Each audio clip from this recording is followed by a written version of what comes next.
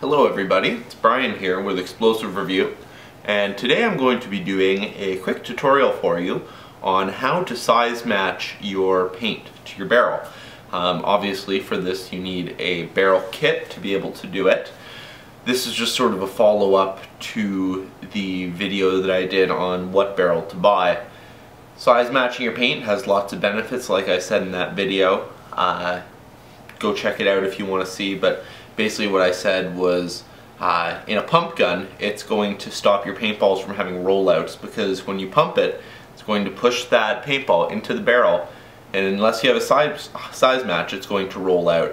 As well you get benefits with efficiency and consistency of velocity. So what, what do I mean by rollouts?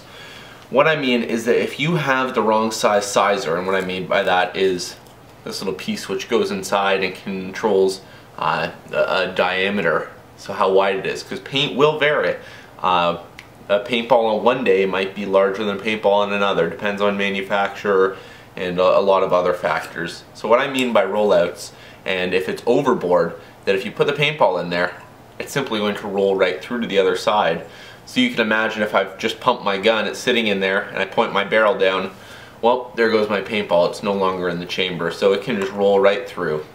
So what we want to do is we want to find one that is going to just hold that paintball in there so that it doesn't fall out, but not so tightly that you risk breaking the ball. So what we're going to do is we're going to remove our sizer.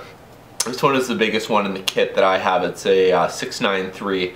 Um, obviously paintballs are 68 caliber, but they vary, go up and down from that 68 as an average. So we're going to look for one that is a little bit smaller here. Let me just grab a bunch.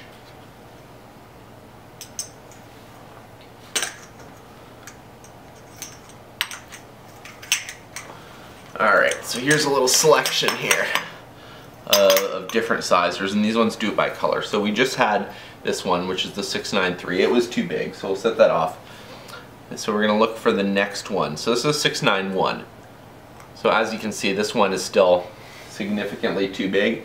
So then we'll go down to the next one. This is a 687. So you can see, mm, might hold it a little bit, but not really enough to, to do anything. It'll, it'll probably still roll out depending on uh, whether you have a smaller, less swollen paintball. So we're gonna go to our next size. This is 684. And it's still, it's still pretty loose. I feel like I can still tap that out of there. So this one's getting there. It's almost there. It's just, it's just a little bit too loose. So now let's go to a 682. I think that's probably going to be just about right. Oh, maybe not. This one, this one even still is a little bit big. Let's just try. Yeah, there we go. So th this is the kind of fit that you want, um, where it's going to be just sitting in there, and you should be able to, if you put it to your mouth and blow, you should be able to pop it out easily, but it should not roll freely. It should sit in there, you should be able to shake it around and it's not going to fall out. So that is what you want for the correct size match. Now let's talk about uh, underboring, which is going too small. Um, generally I don't recommend this. I've actually had times where I've tried underboring too far and actually ended up pumping and, and it causes the paintball to actually break inside of the barrel. And the way that you check to see if the paintball is, is too uh, large for the size it's going to feel quite tight in there and generally when you blow you're not going to be able to easily pop it out. So if you can't easily pop it out that means that your sizer is too small and you actually have to use a squeegee usually to push it through.